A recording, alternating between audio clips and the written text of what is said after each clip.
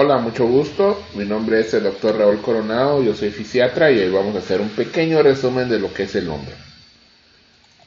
La articulación del hombro está formada por varios huesos. El primer hueso que la forma es este hueso, que es un hueso largo llamado el hueso húmero.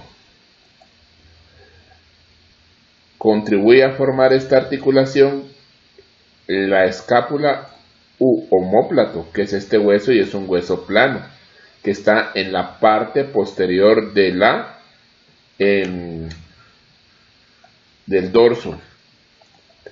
Y también en ella participa este hueso plano que se denomina, perdón, este hueso largo que se denomina la clavícula.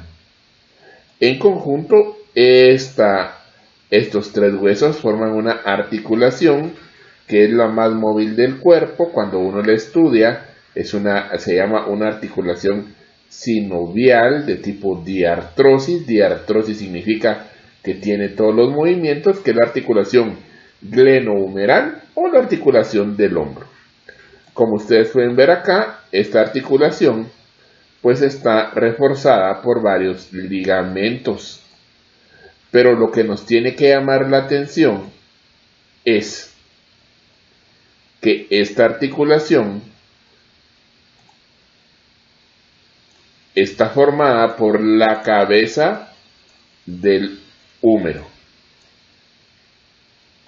Y esta cabeza del húmero es una estructura redondeada.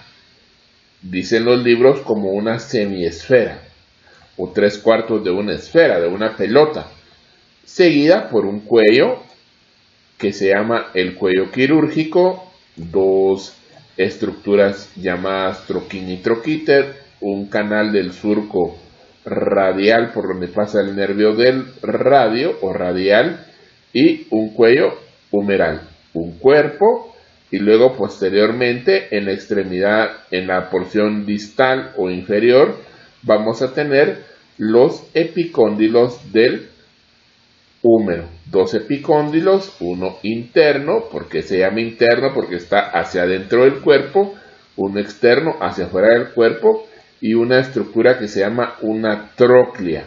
Una tróclea que es esta estructura que vemos acá. La tróclea es como em, una polea que mueve el codo.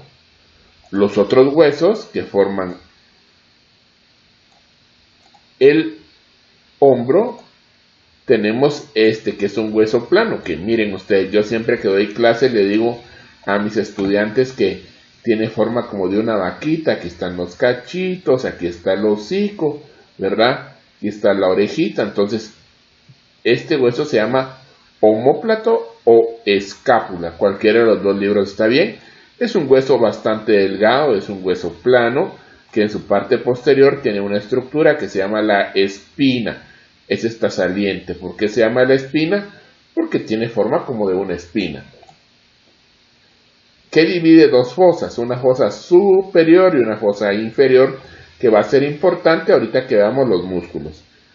Y el otro hueso es un hueso que se llama la clavícula.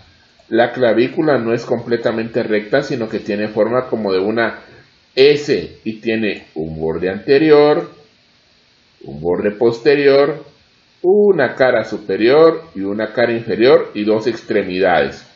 En esta extremidad se articula con el eh, homóplato y en esta con el esternón.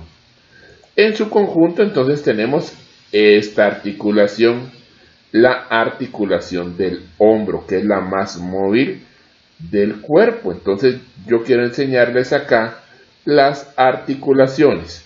Ustedes pueden ver que hay varios tipos de articulaciones.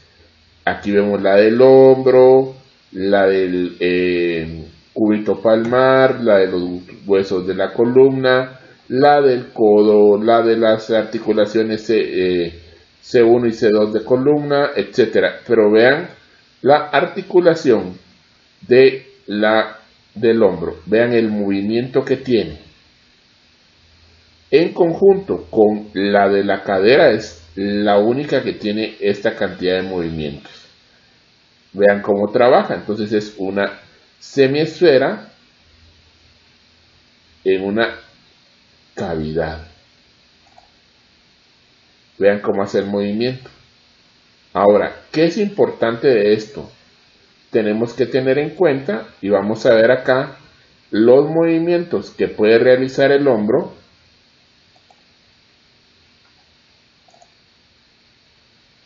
los movimientos que hace el hombro, pero quiero que fijen su atención en estos músculos.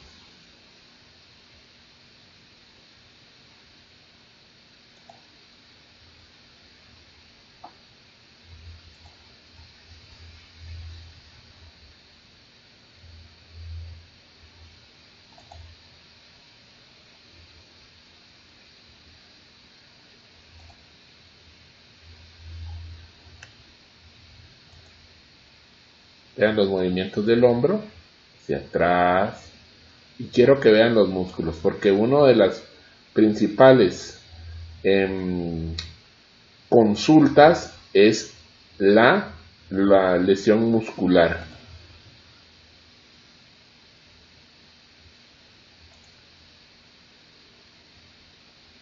Todo eso lo hacemos con el músculo. Este músculo se llama el deltoides. Este es el pectoral. El supraespinoso. El redondo mayor. El redondo menor. Esos son algunos de los movimientos que tiene el hombro. Vean todos los movimientos que hacemos. Pero ahora quiero mostrarles y vamos a ver el manguito rotador. Vamos a ver si aquí encontramos el manguito rotador. Aquí está. El manguito rotador es un grupo de músculos que sostienen la cabeza del húmero, porque la cabeza del húmero es esa semiesfera o tres cuartos de esfera que tiene que articularse en esta cavidad que se llama glenoidea del homóplato y que es más grande la cabeza que la cavidad. Para estar en su lugar necesita cuatro músculos. Un músculo que va de la escápula hacia el húmero que se llama subescapular. No, perdón, Sí, su, escapular. Un músculo que de aquella espina que yo les expliqué se dirige hacia la cabeza del húmero y se llama el supraespinoso. De esa espina que dividía en dos fosas la cara posterior del homóplato supraespinoso y una fosa que se llama infraespinoso. Supra de arriba de la espina, infra de por abajo de esta espina. Este se llama el infraespinoso y el último músculo se llama el redondo menor. Estos tres últimos músculos que yo les mostré se encuentran